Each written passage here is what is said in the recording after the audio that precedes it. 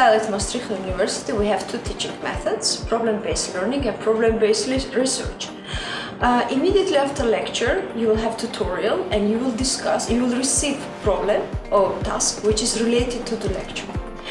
Uh, then during this tutorial, you should brainstorm, discuss this uh, problem, define this problem, make a concept, come up with learning objectives and try to find solution of this problem. Twice a year we have project period and this time we are practicing research-based learning. Students also divided in small groups, but problem which they will face, the answers on this problem, it couldn't be found in internet or uh, elsewhere. So therefore they have to come up with answers by themselves. So they should define this problem, make a concept, design experiments, uh, execute these experiments in the lab and first of all, very important, this experiment should be feasible and then after this if they will succeed or not doesn't matter they will have answered their problem. And i really enjoy this uh, way of uh, studying because you um, basically we have a tutorial we get a task we define some questions and we will look up in literature uh, how to answer these questions and then in a post tutorial we will discuss this uh, among all the students and with our teachers and get feedback if we need to go more in depth in some specific parts. And also the diversity of our class, which is a very small class, um, helps you learn more from your peers and understand more uh, in various directions which you might yourself not be so specified in. And you can teach uh, other people more about your specifications, which just broadens your horizon. We have actually three types of assessments depending on the course. So for regular courses and compulsory and elective courses, we have written exams and some other type of competency-related exam, including writing a proposal, uh, some sort of oral presentation, uh, lab report, etc. Then uh, for project period, that where we practice research-based learnings, we have students uh, write a proposal and also present uh, and defend their results as a group oral communication. And master thesis, which is the, the third class of uh, courses that we have, involves a proposal, midway assessment, and an oral presentation and a written thesis at the end. For instance, in the course I teach bio-based materials, uh, students have a written exam at the end of the course, but we also have uh, assessment related to the skills training we do. The students are preparing a proposal during the course and at the end this uh, written proposal is assessed. But we also ask students to present their proposal and defend it for a critical audience and that's then the third assessment we do uh, for that course. Um, I really like the diversity of the assessments they have in BBM. So we have eight weeks during our projects. So we have exams, lab reports and an assignment.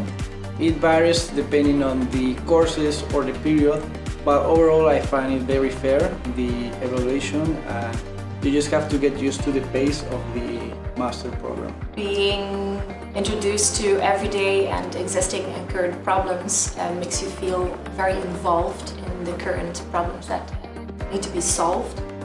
And at this point in the Masters you're supposed to be a scientist and this is also something you're being assessed on.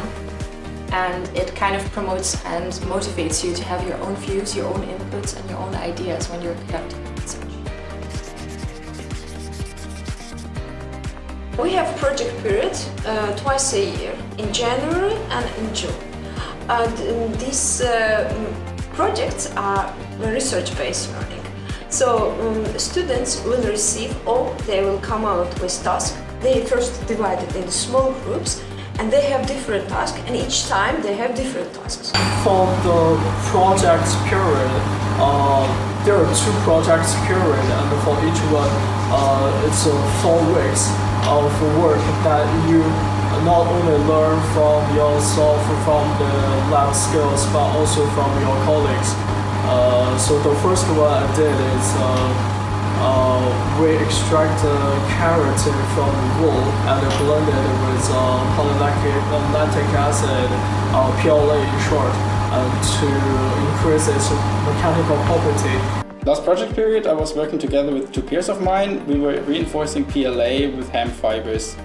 that was actually a really good project and we got quite great results, but then only for results and not for they actually helped reinforcing the PLA. Um, but however, I really liked the project and now my thesis project that I'll be doing as of next year will be really closely related.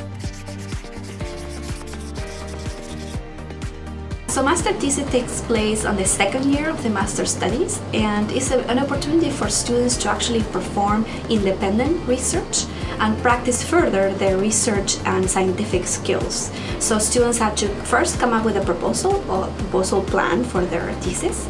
Then they need to execute the work and analyze the data. And finally, they need to defend it as an oral communication and also put together a written uh, thesis at the end. The duration of uh, master thesis project is 32 weeks and uh, normally we have defense and presentation and defense in June and finally graduation is in July. Um, students uh, are free to find different kind places where they can perform master thesis project. Uh, most of them stay here at Chemelot site because we have a lot of companies and uh, our students are very welcome to, um, to perform the master thesis project there. Some of them staying at our institute, Aachen Maastricht Institute Bio-Based Materials.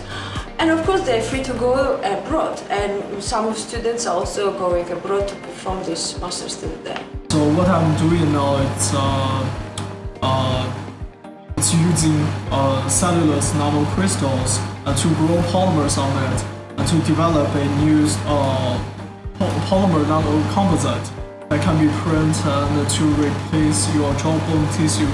Uh, so as for my master thesis, I think uh, it's very important to devote yourself into the work that you are doing and um, try to understand it and read more and learn more and discuss more with uh, uh, both your supervisor and uh, colleagues.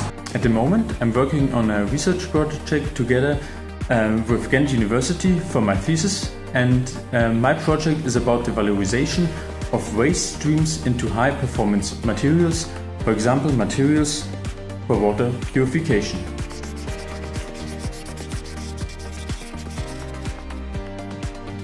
Um, so as director, I also uh, I am the study advisor for the master students. So actually, uh, master students can make appointments with me to discuss concerns about their studies, uh, uh you know, any issue they had with a course or a study plan, and I uh, take care of all the advising in that aspect. And if necessary, I also may assign them to external or internal coaches if they have questions related to research skills or professional skills they want uh, to ask someone about. Guidance is really good.